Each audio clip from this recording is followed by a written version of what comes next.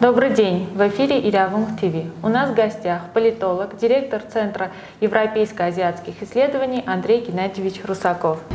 Фактически, ну, Россия заявила о своем желании сесть за стол переговоров. А На Украине это нельзя политически, потому что э, президент Зеленский сам себе запретил участие в переговорах. Но, конечно, э, прилет э, американского президента – это очевидный знак поддержки проводимой президентом Украины данной ситуации политики, а, признания ее, я не знаю, ну, в общем-то, символический шаг. Не везде политика вот такой эскалации больших военных расходов встречает понимание у избирателей. Уже начинаются стачки, уже начинаются проблемы. Правы ли мы, что мы тратим да, такие большие налоги, говорят зарубежные европейские избиратели, на, в общем-то, производство вооружений, а не на собственные какие-то нужды. Многие да, считают, и в том числе российские эксперты, что это является попыткой больше такого, такого символического м, участия да, зарубежных стран, европейских, с которыми у России сейчас на сегодняшний момент весьма напряженные отношения, в попытке больше не столько помочь Армении, сколько, так сказать, помешать в России в ее посреднических усилиях.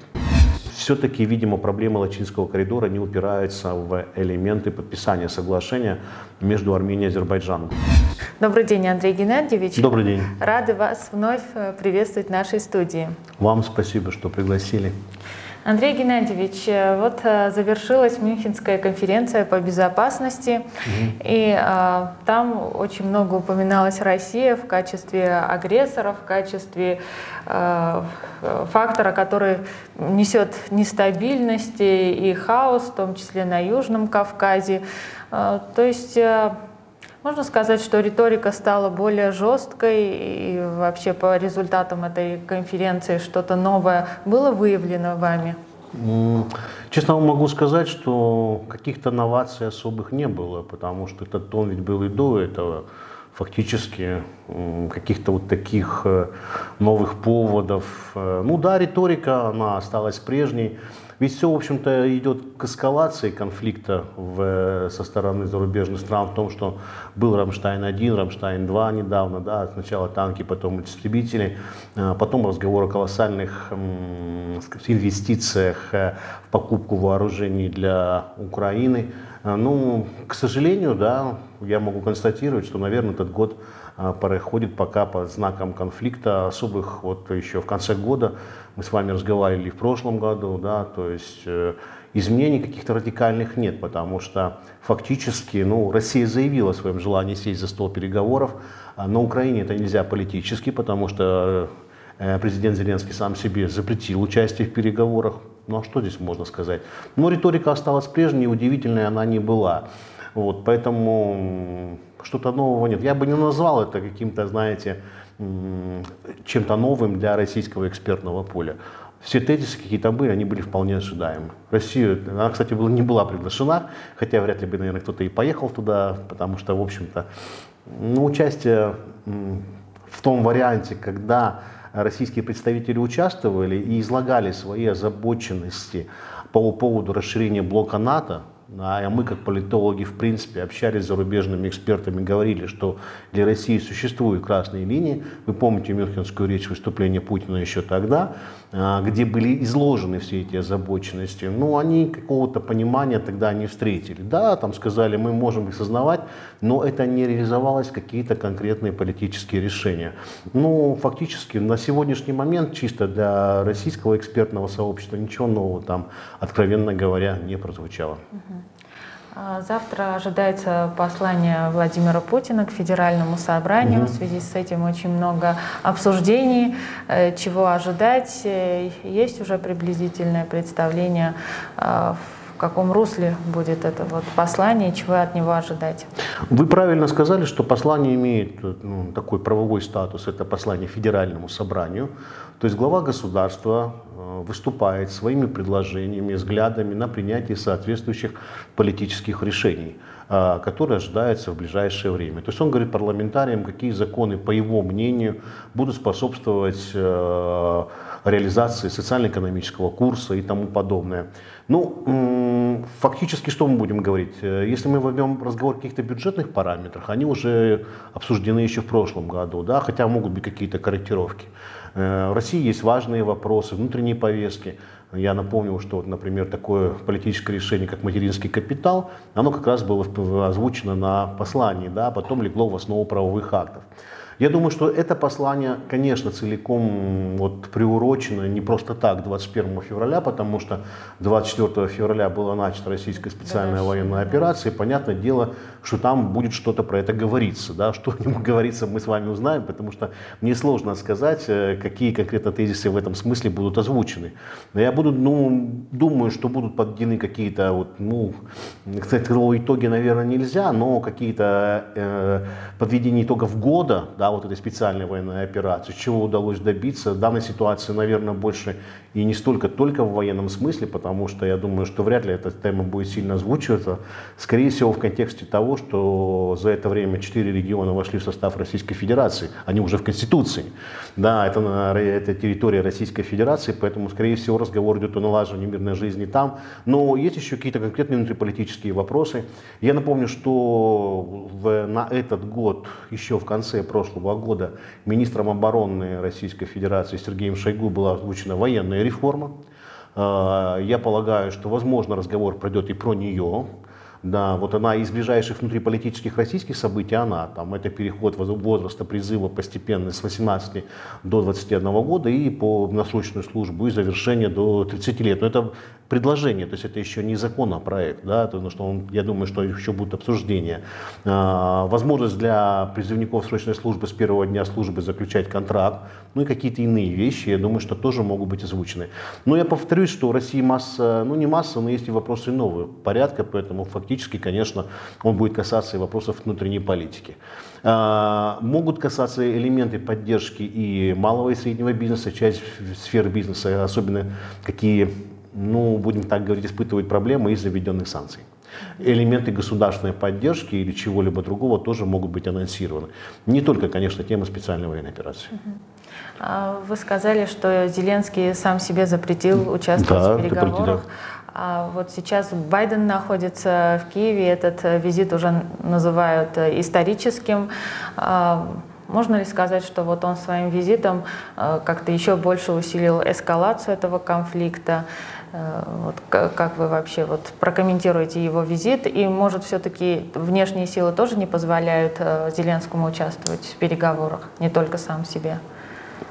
Я думаю, что, конечно, очевидно, ну, визит Байдена стал для меня несколько неожиданностью, честно вам могу сказать. Я прочитал из СМИ, потому что как-то он нигде не анонсировался и стал каким-то таким, во всяком случае, для меня. Я, может быть, кто-то предполагал, я не совсем как бы ожидал его, и смысл, может быть, я не видел. Но, конечно, э, и прилет э, американского президента – это очевидный знак поддержки проводимой президентом Украины данной ситуации политики, а, признание ее, не знаю, ну, в общем-то, символический шаг. Потому что финансовые вопросы, они уже были обсуждены, мы их знаем фактически да, в решениях, предложениях о поставке техники э, военного да, направления различного плана, снарядов, оружия, там чего-либо угодно, все это, в общем-то, уже легло в основу политических решений американского руководства. Это, скорее, больше символический шаг, что президент Байден не побоялся, приехал в Киев, так сказать, вот, наверное, что-то еще. Посмотрим, какие там будут заявления несложно сказать. Понятно, что американцы не выступают в роли переговорной площадки, какие пытаются сделать другие страны. Я даже могу сказать, что потому что читаю, не знаю, реальность это или нет, конечно, да, я могу предположить, что контакты э, и попытки э, организации переговоров идут во многих странах. Я это вижу. Это, во всяком случае, видно по процессу обмена военнопленными, посредников. То есть какие-то разговоры идут. Э, и, в, возможно, там в Объединенных Арабских Эмиратах, и в Турции, я полагаю, что на каких-то других площадках. На Мюнхенской конференции, кстати, про которую вы сказали, там была озвучена инициатива э, Китая, по мирному плану. Да? Но я полагаю, что господин Байден все-таки не приехал с мирным планом. Вот в отличие от других э, политических лидеров, какие, в общем-то, говорят о посреднических усилиях, о попытке, когда организации переговоров э, для двух сторон, ну, думаю, вряд ли визит Байдена из этого толка, на мой, конечно, взгляд.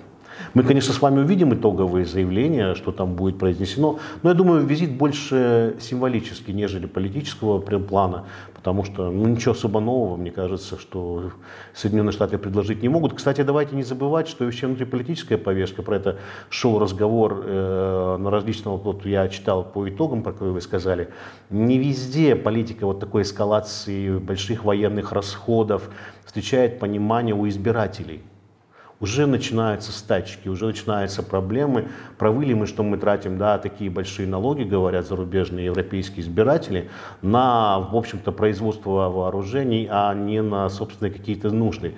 Может быть, легче попытаться все-таки, так сказать, вложить свой вклад в деэскалацию ситуации, нежели вот такую поставку оружия, которое, понятно, будет стрелять. А, в армяно-российских э, отношениях в последнее время тоже наблюдается обострение, какой-то кризис. И а, а, наглядно видно, что Армения, в принципе, начинает разворачиваться в сторону Европы. Э, Армения пригласила сюда Э, европейских наблюдателей, э, миссию, которая уже начинает свою деятельность, что не нравится России, Россия открыто это показывает. Почему, Арми... Э, почему Россия сдает позиции и позволяет Армении вот так в сторону Запада разворачиваться? Ну, я бы, наверное, может быть, смягчил некий вопрос. Да, действительно, вот приезд этой миссии наблюдателей, которая сменила еще одну миссию наблюдателей. Мы тоже про это с вами разговаривали. Я э, по сообщениям армянских СМИ следил за вот итогами их работы, какие сообщались. Кстати, они не столь публично, да, скажем так, освещались, стояли какие-то люди. Я не совсем понимаю, честно вам могу сказать, зачем собираются наблюдать эти наблюдатели. В силу отсутствия делимитированной, демаркированной границы. Собственно говоря, да, э, Азербайджан не дал согласия на присутствие этих миссий на своей границе, в отличие от мандата миротворцев, если мы будем там говорить, которые на Горном Карабахе. Вот, то есть я не совсем понимаю, как они собираются наблюдать за той границей, которой границы нет. Вот э, какая это будет миссия, какие будут ее итоги э, политического толка, то есть что она будет фиксировать. Потому что, собственно говоря, эм, да, и, конечно, это вызывает э, раздражение в силу того, что, ну, на мой взгляд, как бы скажем так, что не все хотели вмешиваться европейские страны еще и на примере Карабаха, да, в район посредников. А в данный момент вмешательство конфликта, оно ведь должно приходить к его решению, э, на мой взгляд. И здесь понятное дело, что, скорее всего, помощь, которую предлагала Россия в демаркира... делимитации границ, она более важна. Поэтому я не совсем понимаю суть их мандата. Э, многие да, считают, и в том числе российские эксперты, что это является попыткой больше такого, такого символического участия да, зарубежных стран, европейских, с которыми у России сейчас на сегодняшний момент весьма напряженные отношения, в попытке больше не столько помочь Армении, сколько, так сказать, помешать в России в ее посреднических усилиях. Вот. Мне не совсем ясен э, ситуация, работа вот этих вот миротворцев, не миротворцев, извиняюсь, наблюдателей на границе, потому что я не понимаю, ну, данной ситуации, как они будут фиксировать нарушения, потому что границы-то нет. Ее каждая сторона из участников трактует свою пользу, собственную пользу. Ну, что может произойти, вот я не совсем понимаю.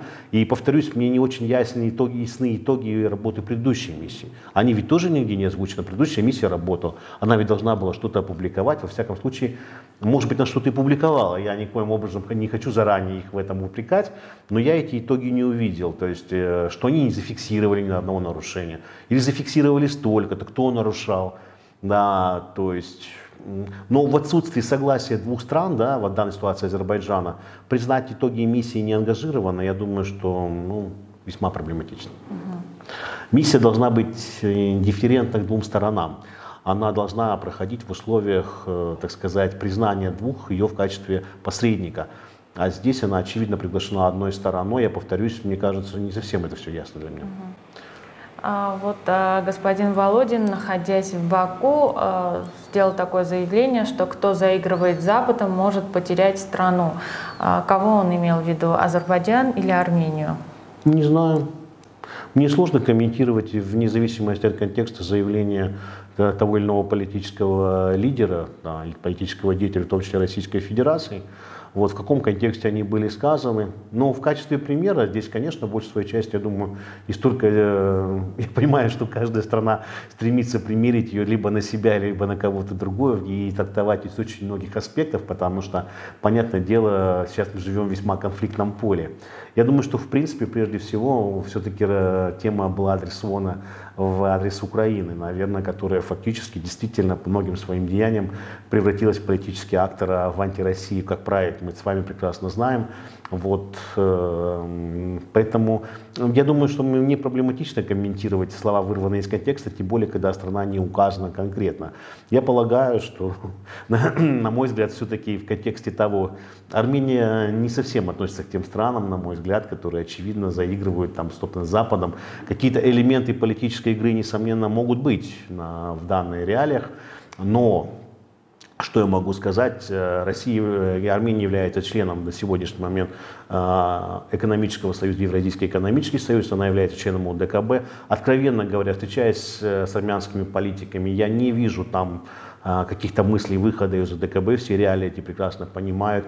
Поэтому говорить о том, что политические силы в каждой стране разные, наверное, действительно надо понимать, что Не надо становиться форпостом и участником противостояния между большими странами. Это самый главный, наверное, урок вот э, многих конфликтов, потому что когда страна себя приглашает в качестве площадки, ну, это может закончиться для нее, наверное, не самыми лучшими итогами.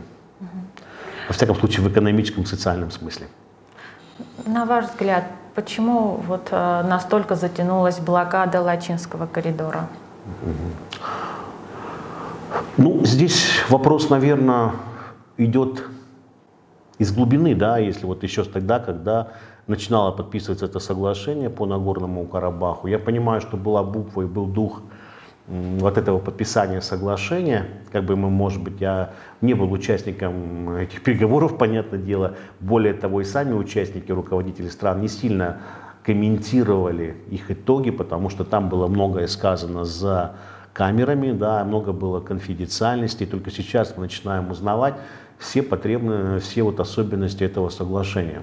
Как я понимаю, это моя личная трактовка, в тот момент, когда подписывалось соглашение вот, э, о прекращении огня, да, то есть во многом, вы помните, был вопрос на Валдайском клубе Путину тогда еще, об этом конфликте, да, были миротворческие усилия, удалось уговорить азербайджанские силы остановиться там в пяти километрах от Степанакерта, чтобы не избежать лишних жертв. Как я понимаю, был э, буквой, был дух соглашения. Соглашение предусматривалось и было, как я понимаю, э, истрактовано таким образом, что пока миротворцы стоят, стороны начнут подписывать или готовиться к мирному соглашению. Ну, в силу ряда причин это соглашение оказалось на сегодняшний момент, ну, я не знаю, я, конечно, прочитал в новостях о том, что премьер-министр Армении Никол Пашинян направил свою версию там, вот, мирного договора азербайджанской стороне. Она, конечно, не опубликована, никто не знает, что там написано, но на сегодняшний момент понятно, что, в общем-то, вот, когда нет э, какой-то конкретики, вот. По поводу блокады Лачинского коридора, понятное дело, что здесь есть машины, как я из СМИ получаю ту информацию, какая есть, машины миротворческой миссии и Красного Креста проезжают, каким-то иным там дан вопрос. Миротворцы ограничены в инструментах влияния на ситуацию, они, да, то есть они находятся э, в определенном статусе, который, видимо, им ну, на сегодняшний момент то, что они могут делать, они делают. Ну, все-таки, видимо, проблема Лачинского коридора не упирается в элементы подписания соглашения между Арменией и Азербайджаном. Когда это будет подписано, мне сложно сказать, потому что это вопрос все-таки самой Армении и Азербайджана, и как там будут защищены права армян Карабаха. Вот. Э, я понимаю, что позиция сторон здесь э, не окончательно урегулированы, хотя господин Пашинян выступал в парламенте и говорил, что партнеры требуют понижения статуса требований к Азербайджану. О каких партнерах, кстати, тоже не шел разговор. Да, что за партнеры? Это кто? Какие страны. Партнеры попросили понизить планку, да, то есть фактически, то есть и армянская страна была готова на подписание мирного соглашения, как я понимаю, в контексте гарантии безопасности армянской общины и политического статуса определенного, автономии или еще какого-то. Потом, насколько я понимаю, что Азербайджан это не слишком сильно устроило, и, хотя это тоже все, опять же, в большинстве своем, э, знаете, как бы доносится через руки экспертов, потому что сами по себе эти переговоры всегда остаются в тайне. То ли реально это было, или я вот пересказываю чью-то версию, тоже не могу сказать, потому что стороны немногословны, но понятно, что вопрос весьма щепетильный, весьма щепетильный и конфликтный. Вот, э, пока вот я, да, события, проходящие в Лачинском коридоре, вызывают грусть, вот э, определенную, хотя вот я там смотрю новости оттуда, какие-то машины все-таки ходят. Вот вопрос, да, наверное, нелегкий, как решить. Сложно этот вопрос поддается решению. Вот, понятно, что две стороны конфликта выставляют свои требования к миротворцам. А, и вот а, в связи с этим разрушительным землетрясением в Турции, а, как вы считаете, ну, турецкие чиновники уже открыто говорят, что, возможно, оно вызвано какими-то искусственными причинами, обвиняют там американскую сторону, но, на ваш взгляд, может это землетрясение привести к тому, что Турция, если она раньше вот так высказывала желание и всячески своими действиями стремилась стать региональным и даже каким-то международным важным игроком, э, то после землетрясения она э, выйдет из этой роли активного деятеля, вот такого вот. Угу. Ну, я здесь, конечно, дошел бы в сторону немножко первый вопрос. Да? Конечно, мы с вами рассматриваем политический вопрос, хотя, конечно, это колоссальная гуманитарная катастрофа. Угу. То есть погибло большое количество людей, которые, в общем-то, ходили каждое утро на работу, да, там воспитывались детей, то есть, э, ну, собственно говоря, были совершенно добропорядочными гражданами.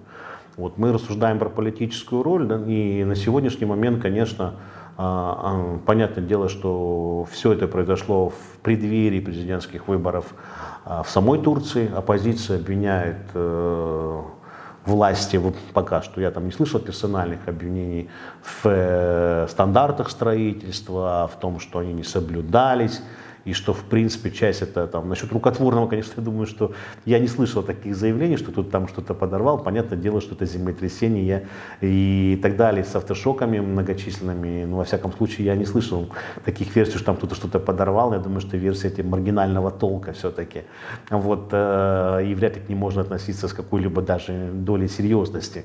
Вот, что имеет, она будет иметь политические последствия, экономические, да, Турции придется, учитывая ее девальвацию лиры, и сами по себе экономические вопросы, конечно, это колоссальный удар по турецкой экономике. И э, сможет ли она поддерживать свои амбиции на внешнеполитическом поле, сказать сложно на сегодняшний момент, потому что непонятно, какие выводы все-таки будут сделаны. Из всего из этого вот, э, я понимаю, что впервые за все время вот, была открыта армяно-турецкая граница. Армения отправила туда гуманитарный груз. Вот, туда приехали армянские спасатели. Ездил министр иностранных дел Армении в Турцию, да, уже, может быть, конечно, повод не очень хороший, но тем не менее там стояли встречи, он встречался со спасателями. Вот, обсуждается это все в контексте того, чтобы было заключено соглашение э, между Арменией и Турцией. Но понятное дело, что я здесь э, мое личное мнение, что пока не будет заключено соглашение между Азербайджаном и Арменией, конечно, разговаривать о заключении соглашения между Арменией и Турцией преждевременно. Вряд ли они это сделают до момента завершения вот, э, переговоров какого-либо, да, подписания мирного соглашения между Арменией и Азербайджаном, потому что, в принципе, это очевидно, кто э, поддержка Азербайджана, Турции, поэтому здесь, конечно, соглашения не будет. Какой-то элемент потепления э, отношений, наверное, да, возможен, во всяком случае, понимая, что армянские власти своими гуманитарными шагами показали, ну, скажем так, свою готовность к диалогу. Вот, ну, гуманитарные вопросы, да, они тоже оказали. Думаю, что Турция ну, в данной ситуации рада была любому виду помощи, которую оказывала, в том числе Армения. Это впервые за все время блокады была открыта эта граница. Андрей Геннадьевич, большое вам спасибо за интересное интервью.